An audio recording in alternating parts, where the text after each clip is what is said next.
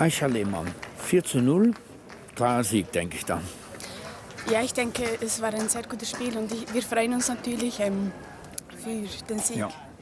Und das erste Tor war von dich. Ich habe ja auch gesehen, äh, du, bist, du weißt ja sehr gut das Tor stehen. Auch in die Liga mit Young Boys geht das ganz gut. Ja, natürlich. Ich freue mich sehr, äh, sehr doll, dass ich ein Tor gemacht habe und mein, in meinem sozusagen ersten Länderspiel. Und das ist natürlich sehr toll. Ja, und du hast ja, ja die Torhüterin hatte ich dann auch noch knapp vom Zweites gehalten. Das hatte dann alles gewesen für heute.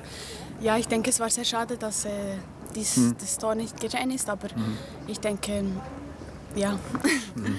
Wie wichtig ist es, äh, eine Trainerin zu haben wie Martina, die äh, ja, die Spiele versucht ins Ausland zu, äh, zu kriegen und so das Niveau hoch zu bringen?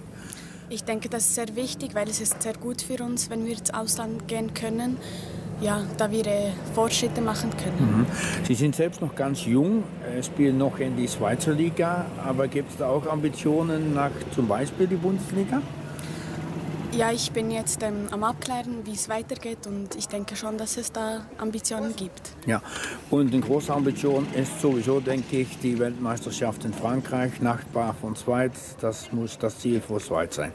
Ja, ich denke, das ist mein großes Ziel, ähm, dort dabei zu sein können, können und ähm, ja, Dann gibt es noch ein drittes Spiel. Ähm, dann könnt ihr ja sowieso steigern. Das erste war, ist leider verloren gegangen. Ich denke, das ist das Ziel, das dritte gewinnen und dann einen schönen Platz halten hier auf den Cyprus Cup.